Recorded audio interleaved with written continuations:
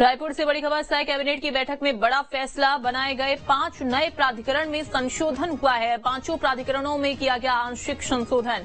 प्राधिकरण में जनप्रतिनिधित्व के दायरे को मिला है विस्तार। वहीं मंत्री संबंधित क्षेत्र के राज्यसभा, लोकसभा सांसद सदस्य होंगे।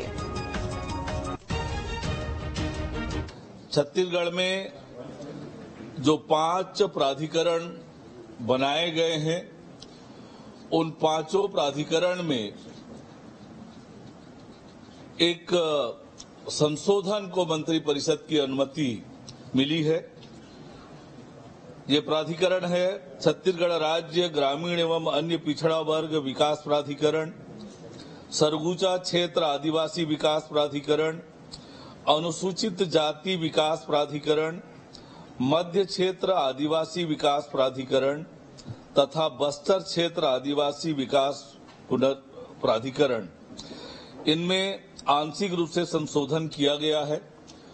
इस संशोधन के माध्यम से प्राधिकरणों में जन प्रतिनिधित्व के दायरे में को विस्तार दिया गया है।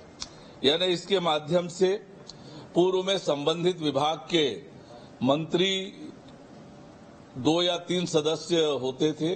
अब सब मंत्री परिषद के सभी सदस्य इस प्राधिकरण के सदस्य होंगे।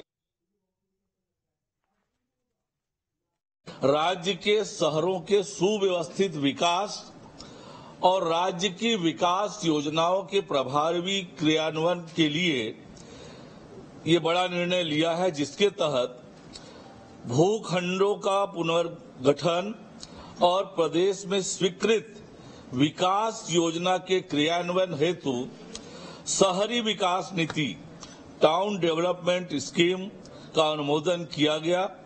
इस संबंध में दिशा निर्देश जारी करने हेतु आवास एवं पर्यावरण विभाग को अधिकृत किया गया है।